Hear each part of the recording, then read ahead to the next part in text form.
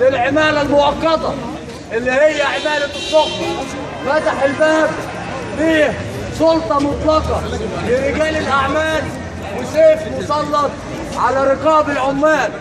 هذا القانون الظالم لازم يسقط العمال بيناقشوا النهارده قانون بديل يضمن الحد الادنى للاجور ويضمن التأمينات الاجتماعية ويضمن عدم خصخصه الشركات واستبدال الشركات اللي تم خصخصتها يضمن الأمان الوظيفي وعدم وجود عمالة مؤقتة وتعيين كافه العمال بعقود عمل عادلة.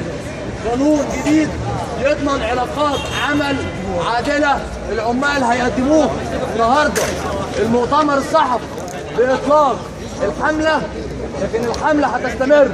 وهتروح إلى مواقع العمل في المناطق الصناعية الجديدة والمناطق الصناعية القديمة لشرحه وتقديمه كل عمال مصر لاصداره وبنرفض قانون رجال الأعمال قانون مبارك اللي هو قانون عمل 12 لسنه 2003 وقانون 47